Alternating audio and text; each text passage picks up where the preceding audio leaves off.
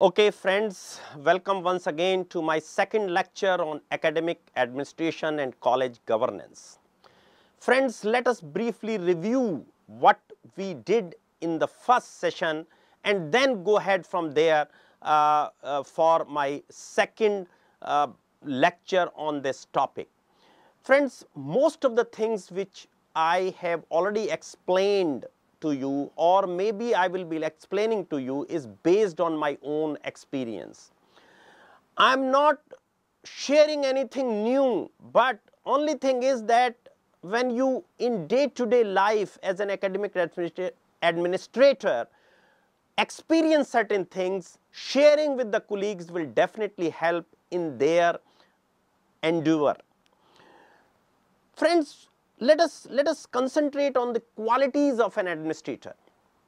See administration administrator must dream right. He may not dream big but dreaming right is extremely important. On the other hand he should be very kind compassionate forgiveness patience and personal integrity should be above board Friends, let me uh, you know relate this with an example that uh, in a popular novel by Julius Caesar, there is a line it says the Caesar's wife should be above board. So, that is an important aspect on the integrity of the administrator. Friends, another important thing which I shared with you is the management of conflict. See, most of the time, as I said, that every colleague is important, every faculty is important, and you are bound to have difference of opinion.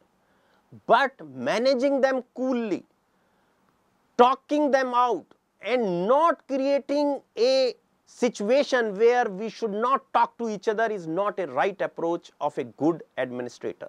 So, conflict management is extremely important. Then administrator must learn from his experiences, from his failures in the past and he should be a master in managing the people. Another important aspect in a democratic institutions, whether it is country, educational institution or any other organization, the people should be empowered. People should be given enough powers in order to execute certain things. They should be made independent to do the task and then administrator should guide them and keep a watch. That is the job. Now, administrator must enjoy his job. It is not that you know always he is complaining that my colleague does not do that, my X person is not doing that, always complaining to the higher authorities that my people doesn't do that, it is not a good reflection on academic administrator. I told you earlier also that what for you have been given administration. It is your job to manage and to do the justice to the institution. Again, I am saying it is not everybody's cup of tea. Administrator must think before taking the job that whether he is capable of handling all the situations.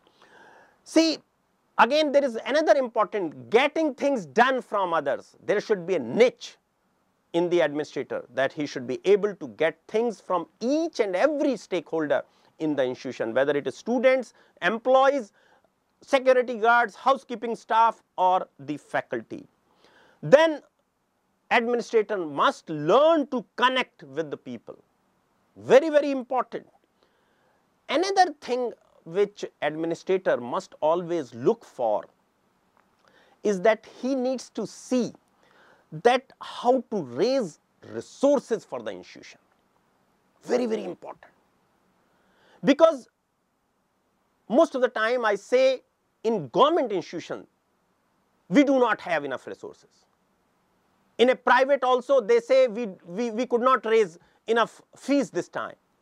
Well this is not going to help we must find out there are several funding options available and innovate.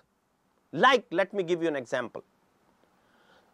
These programs are going on for the last 3 months and we have already trained as I told you 30,000 teachers and we have raised enough revenue for future use. So, that is what out of box thinking. Then institutional rankings are very important, whether it is NAAC, NIRF, QS rankings, India Today rankings, every rank is important for the institution. Now, you can say that it is everybody's job. Yes, it is everybody's job, but administrator has to think and get the things done so that rankings are good. Recently, we got a ranking of 61 in 2020 NIRF, but two places we are losing. One, one is the research because ours is a management arts college. It is not a science institution. That is one thing which I can say. Another important perception because we are a new institution and also we do not know on what parameters ministry is looking for perception. Because the renowned colleges always get the perception, but we are doing much better job and we are not getting the perception. So, they, they, you have to fight with all these things. Again, let me tell you that job of an administrator is to encourage the faculty to do each and every important task, whether it is research, whether it is writing in the best journals, let us motivate the faculty. Administrator must motivate through fundings, through uh, cash prizes or through any means but they should be highly motivated. Like I can give you an example, one of my faculty came to me that okay, um, I need to file a patent, but sir I do not have funds to file it. Okay, I said okay go ahead, we will support you. So that is what it is, encouragement to the faculty. Another important thing is that idea of the faculty should be encouraged. We should get different ideas from them and tell them you should pursue that idea. And sometimes even funding is required, okay, no problem. Let it be a failure, but that should be encouraged. Another important aspect, we should have set up several centers of research and development. Center for excellence. I tell you, we have a research and consultancy cell. I think I was telling you that we have done consultancy much more than any other institution in the country. So this is just a example how you innovate and do the things. Friends, as I have been telling to you that our educational system needs complete revamp. The quality and excellence in education need to be improved because of several reasons because we have a very low employability, low skills, we are not teaching anything which is useful to the industry. Let me tell you, recently I organized one program on research and data analysis for undergraduate students. I tell you, 1000 students participated. Our, our purpose was not to make them researchers, but to make them employable to think critically, to think analytically, to interpret the data. That was our job. Reskilling is also very important. Now, of course, in educational institution, reskilling, uh, you know, is not sometimes we feel is important, but what I feel this is also our job that if the workers like let us say in this COVID-19 situation, most of the people are losing jobs because their job is not required in the industry. Now, something else is required. So, we have to do the reskilling of them. It is our responsibility. We should reach to them and reskill them. Only then the employment problem can be solved. Friends, I also told you that we should train our students, faculty and all the stakeholder in the recent developments or industry 4.0 whether it is robotics, simulation, the cloud computing, big data analysis, augmented reality, cyber security, 3D printing, internet of things and artificial intelligence. We are setting up a separate center for artificial intelligence in this in this college and you will see in times to come there will be a lot of research on artificial intelligence from our own institution. Friends another important aspect recently I went to the central university uh, Odisha in Koraput in, in a tribal area. I delivered a foundation day lecture over there. It is a small university with a large funds and large areas, large buildings. But what is lacking is that vision is lacking. The planning is lacking. The local requirements, what are the local requirements? That thinking is lacking. They are also planning to do management courses, the courses which other uh, uh, institutions are uh, you know running, but that is not the way universities should be developed. Universities should have a focus in one or two areas and depending upon the local environment, local requirement. That is why central universities were being opened in various areas. The, if we are doing the same thing, then there is no innovation. Now let us see in, in Koraput, it's a rich in mineral uh, uh, minerals, that area.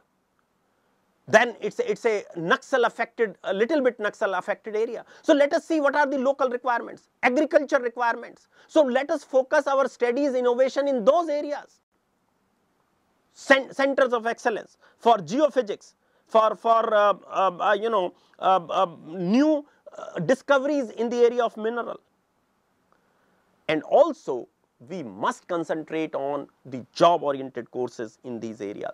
Then sports, activities, I see that students has lot of potential in, in that area in, in sports and various activities. Let us explore those and develop them for their uh, basic requirements. As regards quality improvements, the best of the faculty may not be available to them, but in today's technology time video conferencing video lectures that can be delivered. They, they can they can um, uh, you know uh, put it for faculty for students for everyone. They need not hire faculty there uh, because um, sometimes the best faculty is not available. Then another important aspect of a university or a college is that teaching ICT skills to each and every teacher, student, all stakeholders, non-teaching employee, everyone. That is also job of a good academic administrator to look into this. And then another important as I said that every institution must see all around what are the requirements of nearby areas, nearby villages, nearby slums and it is the job of educational institution to develop them, to teach them, to to solve their day to day problem whether it is environment, sanitation, health, everything. And if I tell you this is being done, the country will progress like anything. Government is not needed in order to do all this. Now, you know basically what I am trying to say is that academic administrator must think out of the box.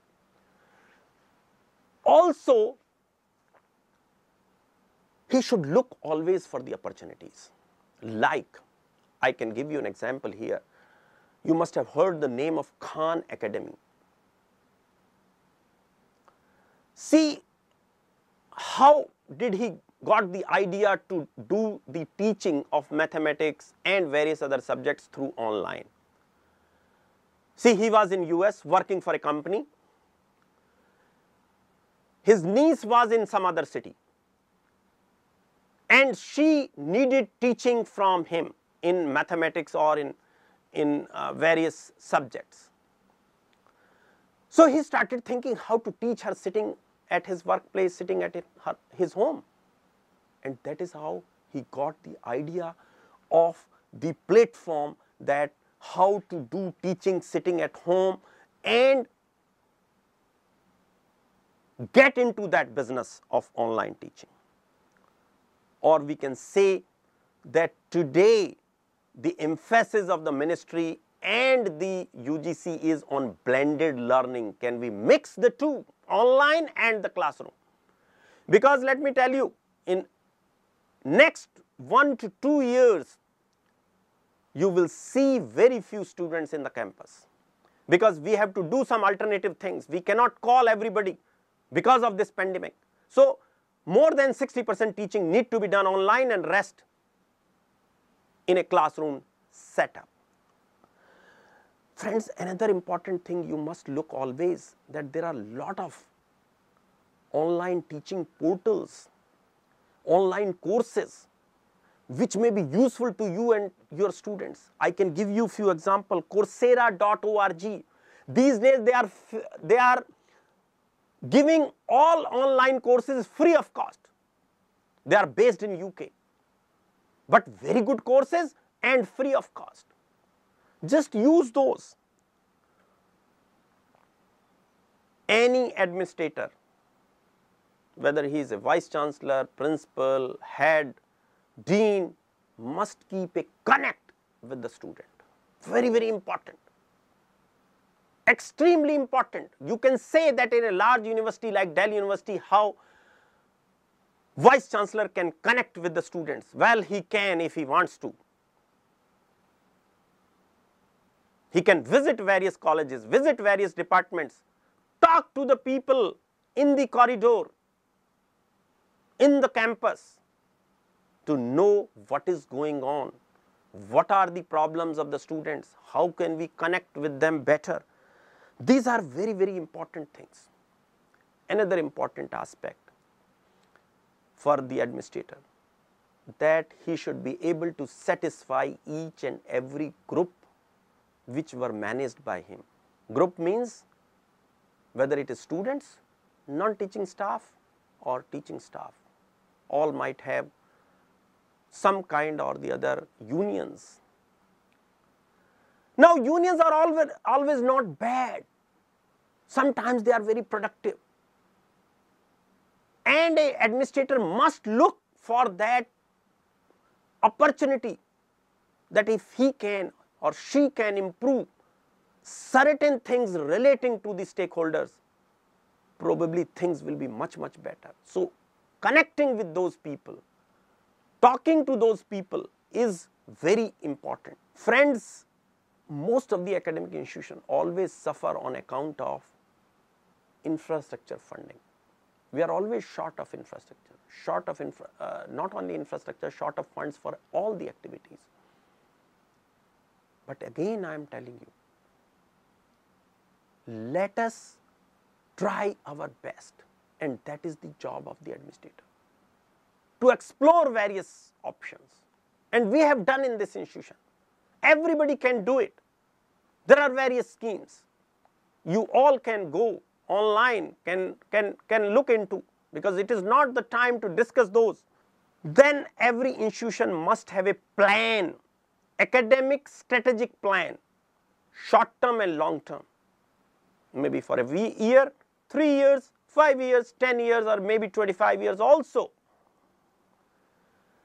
Then holistic solution for all the problems of the stakeholders.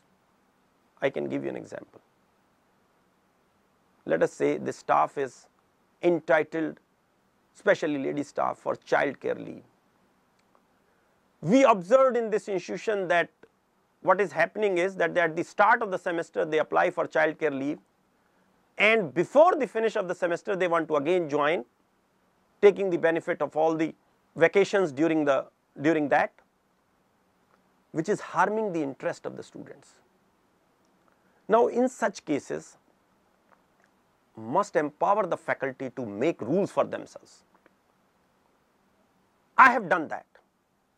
You frame the rules and I will follow those. I tell you nobody came with that. So ultimately we had to stop this and make a fair rules. Yes, you are entitled for the benefit. We have no problem, but institution is also entitled to see that its interest is not being harmed, not being uh, taken uh, at the back seat. So, that is also very very important. Now, again what is academic administration? Well, let me let me define it, it's a book uh, you know uh, definition. Integrating the different priorities and responsibilities in your life. Work family health fitness community and personal self development your personal purpose values and vision life goals and directions very important for the academic administrator learning how to focus your mental energies and develop the willpower necessary to bring out the changes you want in your behavior and habits. Developing the authentic communication skills, clarity and self-esteem necessary to inspire and empower others. Let me give you an example here. Let us say there is one institution or college I can say is a big institution, maybe having 10,000 students, 300 faculties, every discipline is there. It is a reputed institution, but hardly any teaching, hardly any uh, you know development work Yes, some research is going on because of the individual uh, you know efforts, but no innovation is going on. And it is a highly reputed institution. It is being rated very high by NIRF because, because of its legacy. Another in comparison to this a small institution, newly built, new institution, small faculty, small number of students, few disciplines, doing quality jobs, doing lot of innovation, lot of research, quality of students are better, but still rated lower. Now, what to do? Well, friends, we all have to work in that direction. We need not bother ourselves that, okay, how can we be lower than the bigger one? Well, always bigger entity is trying to eat the smaller one. That is the rule of the game, but you must be good enough to sustain in the long run. Well, most of the time the faculty, researchers have the complaint that they are not being allowed to go out for attending conferences, for doing refresher, orientation courses, this is much more with the temporary staff, contractual staff. But the administrator must encourage each and every faculty, whether he is guest teacher, contract teacher, permanent teacher, to do the development of their self, academic development. But what we noticed in our institution, that most of the time we are offering programs outsiders are very interested, but our own faculty is not interested. Our faculty wants to go out to have fun. That should not be allowed. That is not correct. They should contribute in their own institution also if they want to enjoy outside benefits. Now, another important aspect here self managing aims of self managing leadership. Now, there are various points here I would you know they are all from uh, you know I have obtained from books or journals it is not that I am doing something new for you, but I am just putting before you to become a better leader through improved self esteem. Self esteem is extremely important to develop a clear focus for the next stage in your life because you have to plan 1 year, 3 year, 5 year because these days principals and vice chancellors are appointed for 5 years. So, plan cannot be beyond that.